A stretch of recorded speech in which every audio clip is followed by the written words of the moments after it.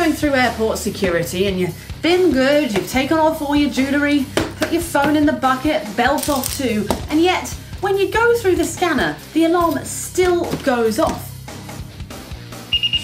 Well, when this happens, we, we call this a false positive. It's when the alarm goes off for no apparent reason and ends up in you getting the. Uh... is all happening, you, you suddenly remember you left like a, a tube of toothpaste or something in your hand luggage, and yet that manages to go through the scanner no problem. When this happens, we call the outcome a false negative.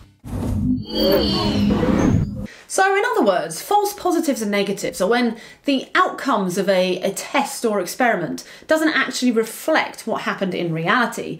And these errors can apply to all kinds of things, from security systems to things like forensic evidence and even cancer screenings. And so they're really important for us to understand because, well, they can affect our personal lives, especially with this whole COVID situation, as I'll explain shortly.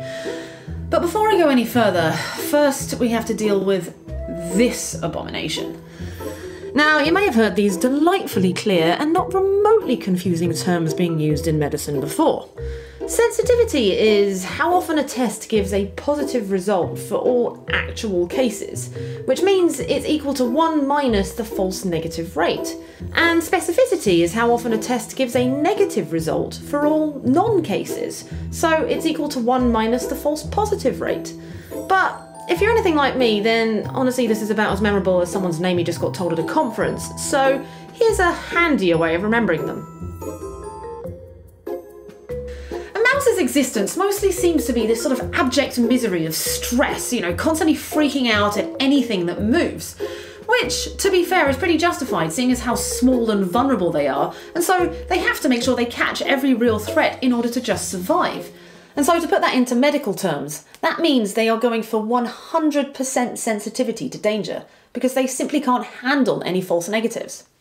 Then, at the other end of the spectrum, we have this guy. Being a lion means that you kind of lord over everyone, and when you're at the top of the food chain, you don't have to worry about getting eaten much. And so, lions tend to hate being bothered about anything unless it's absolutely necessary. And so, to put that into medical speak, it means that lions are 100% specific because, well, they can't stand for any false positives that make them have to move. So, in an ideal world, we want to ensure that whatever test we're using to measure something has both a low false positive and low false negative rate so that it's maximally accurate. But in reality, that can be very hard to do, as often there's a direct trade off between these two things. Like, it's hard for a mouse to simultaneously be alert for danger at all times, but also hang out in the sun like a lion all day. So, depending on the situation, we typically prefer to maximise one over the other, depending on which outcome is worse. Like with something like an airport scanner, even though terrorists are fortunately very rare, a false negative is still really, really bad because, well, 9 11. And the same is largely true for disease diagnosis. While obviously doctors would prefer to have a perfectly accurate track record, you'd still rather your tests give the odd false positive and needlessly worry someone than let someone who really does have cancer slip through the net and then not get the urgent treatment that they need. However, there are some situations where having a high false positive rate can be just as dangerous, and unfortunately, COVID 19 might be one of them. To understand why, let's imagine we have a thousand people who want to test for COVID. And at the time of testing, we predict that, say, roughly 2% of the general population has actually had the virus. And let's say the test we're going to use, in this case an antibody test, has these error rates, which, by the way, are the accuracy of some of the tests in real life. So, given all this information, what do you think the likelihood is that if you end up testing positive, that you actually had COVID in this instance? Before you try and calculate it, take a moment to just feel out whatever number first pops into your head.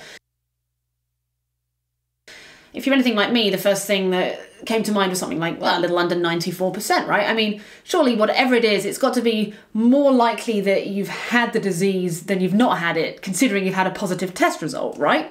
Well, bizarrely, that's actually completely not the case. Despite the positive test result, we are still most likely to have not had the virus in this instance. And here's why. So, because of the 2% estimated background rate at the time of testing, then out of those 1,000 people, on average, only 20 will have actually had the COVs, and well, that means 980 haven't. Then, because of the test's 95% sensitivity and 5% false negative rate, 19 of those 20 cases correctly test positive, and one unfortunate soul gets a false negative. Meanwhile, out of the 980 who haven't had the virus, 94% of them get the true negative result. But crucially, the other 6% get a false positive result, and that equals 59 people. If we then compare these two categories of positive test results, we can see that the false ones outweigh the true ones by around 3 to 1. In other words, despite your positive test results, you are still way more likely to have never had the virus. And to be abundantly clear, this relates only to this specific hypothetical example. And this counterintuitive phenomenon is known as the false positive paradox. It's a thing that happens when a disease is still rare enough that the base rate, which is the name for the fraction of the general population who's actually had the disease, is smaller than the false positive rate of the test. And this completely messes with our heads because, well, we tend to focus on the high accuracy of the test and forget about this crucial first step of taking the base rate into account. And this common error has a name too. We call it base rate neglect, and it's a consistent problem for both scientists and public alike.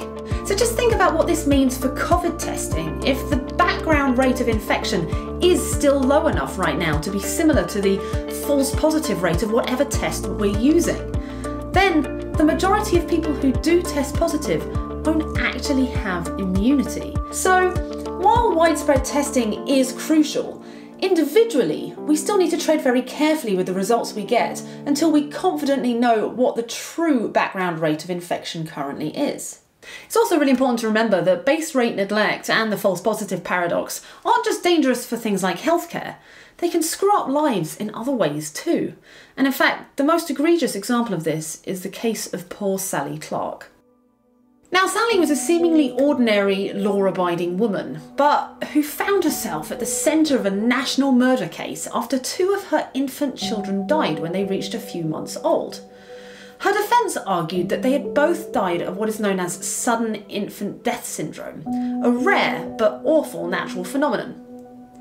But the prosecutors argued that this disease was so rare that the odds of both of these children independently dying of it was as slim as 1 in 73 million. Odds so tiny that, despite there being no other evidence against her, it was sufficient enough to convince judge and jury to imprison Sally for life. But in reality, there were so many outrageously basic errors in their analysis that they almost certainly sent an innocent woman to jail. Firstly, their calculation of 8500 squared to get to 1 in 73 million makes the huge assumption that the two deaths were completely independent events, but this whole assumption is not remotely based in reality, because it's now known that SIDS can run in families due to both environmental and genetic risk factors, and that alone would have reduced the prosecution's odds argument drastically. But the prosecutor's real statistical crime was base rate neglect. Because while double SIDS deaths are extremely rare, guess what are even rarer? Women with zero history of mental illness or criminal activity deciding to kill their babies. And if they'd actually done their numbers properly and factored in the base rate, then the likelihood of her being guilty would have gone from being a near certainty to somewhere around only 13%.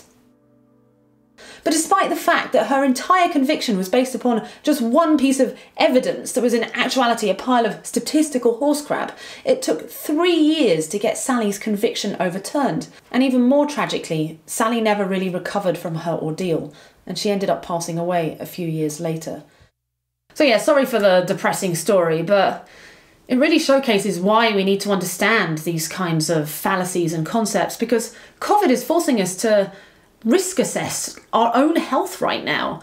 And beyond that, we might end up on a jury where we literally hold someone else's lives in our hands.